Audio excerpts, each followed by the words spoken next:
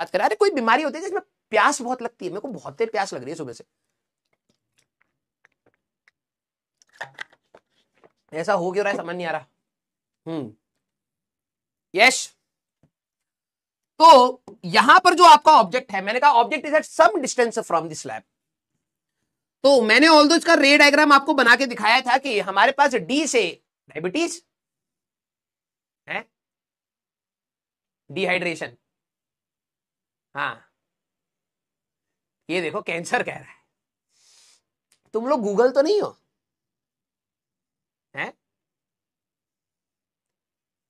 बेटा रेबीज में पानी से डर लगता है। ऐसा नहीं कि उस बंदे को प्यास नहीं लग रही। मतलब तुम्हें तो भैया, शुक्र है तुम इंजीनियरिंग में ही आए हम्म। पानी से डर लगना, उस व्यक्ति को प्यास ज़रूर लग रही होती है लेकिन उसको डर लग रहा होता। ठीक है? हाँ। कि यहाँ पे कोई बच्चे हैं जिनको पानी की प्यास लगने से उनको बवासीर हो जाता है। अच्छा। हम्म।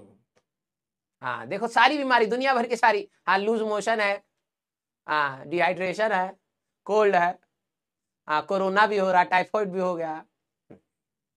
वेरी गुड लेकिन बेटा, हम में से चलो, सारी बीमारी एक्सेप्ट है। यहाँ पे हाँ वो वाला बच्चा अपने घर को पूरे हाँ सबको लेके जाइए डॉक्टर के पास।